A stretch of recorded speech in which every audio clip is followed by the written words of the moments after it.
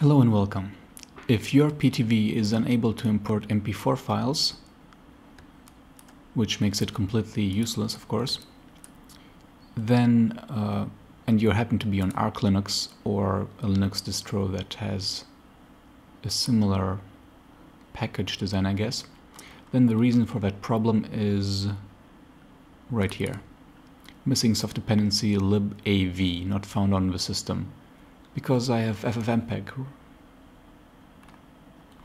So let's shut down uh, Pitivi and install gst libav.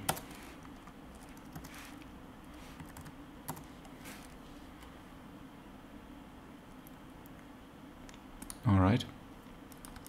And if we drag an MP4 in now, it works. Hallelujah. I hope I can help could help you out with this. Have fun editing. See you next time. Ciao.